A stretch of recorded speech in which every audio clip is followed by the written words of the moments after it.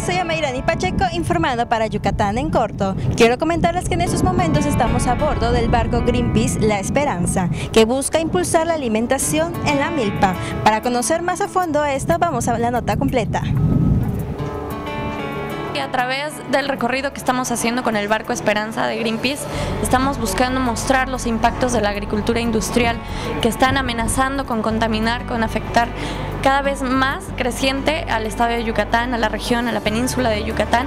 Es por ello que hemos estado haciendo un trabajo de investigación con toma de muestras de agua para medir la presencia de agrotóxicos como plaguicidas y fertilizantes que no solamente están siendo aplicados en la tierra, sino que están siendo filtrados y llegando hasta los cuerpos de agua.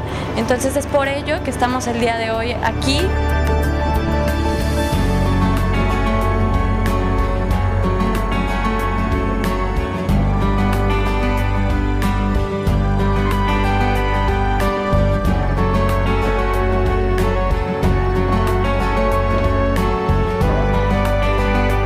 Esto ha sido todo por hoy. Informó para Yucatán en corto a Mayrani Pacheco.